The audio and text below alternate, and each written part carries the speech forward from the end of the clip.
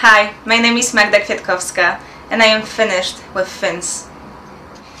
Sharks are my favorite animals. I think they're beautiful and magnificent and every single time I get a chance to dive with them I was just amazed by their beauty and I hope you also get a chance to do it. You know, sharks have been on earth longer than dinosaurs and they survived everything. So let's not be the one reason that actually kills one of the oldest animals on earth. Let's protect sharks.